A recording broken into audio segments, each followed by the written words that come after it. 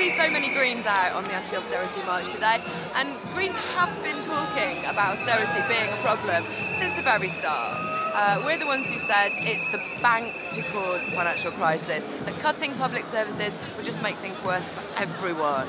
Um, our argument is you have to invest in the country when there's a problem.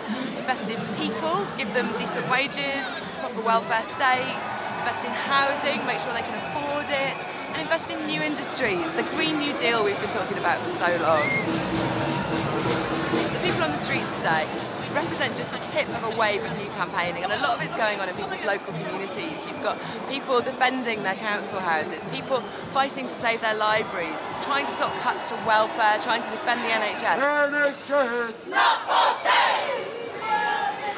I think it's really important that we in London in the elections next year engage with these groups, bring those groups within the Green movement and uh, help them to be part of the Green Party campaign. We can do that by opening up our policy making processes, getting involved in their campaigns, in communities and on the streets, and, and, letting them help shape our manifesto. I think that's the way we can build a bigger movement, and that's the way we can win next year and uh, put an anti-austerity uh, mayor and assembly members into City Hall. I think that would make a real difference to what they think inside Downing Street.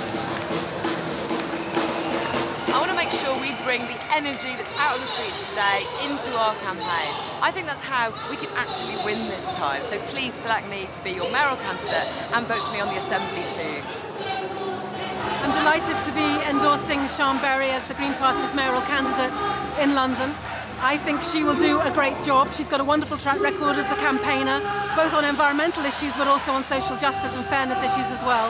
I think she'll be able to reach people right across this city she is articulate, and I think what she will bring is an incredibly positive campaign, a hopeful campaign, and I think that's what people need now more than ever before.